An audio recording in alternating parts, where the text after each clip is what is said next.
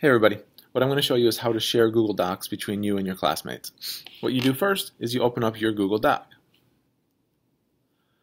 We'll choose to open up the letter to a teacher, and I want to thank Gabe for letting me borrow his.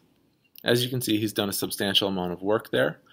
In order for him to share this with a classmate, he will choose the person with a plus sign icon and type in a full email address there with the at harrisburg.sc.us. As you can see, he has already included a classmate there who has access. So I'll close that out.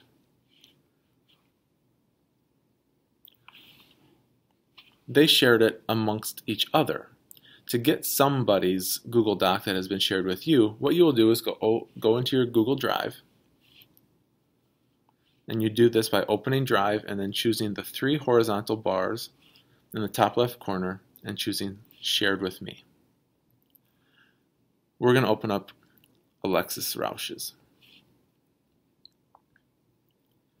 Because sharing enables you to make edits, as you can see, she has already received some feedback as well, highlighted in yellow, which is the next thing you need to understand how to do.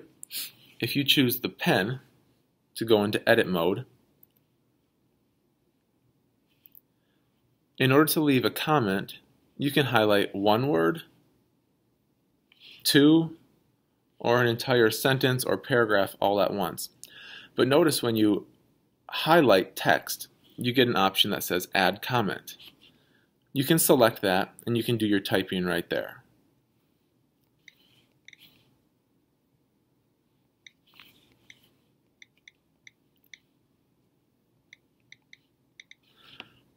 My feedback isn't very specific, but it's hard to type from this angle. But you can leave your positive and constructive suggestions for how your classmate could make their writing better, and in this case, the letter to the teacher. I hope this was helpful, and always check back if you need reminders on how to do certain things using Google Docs. Thanks.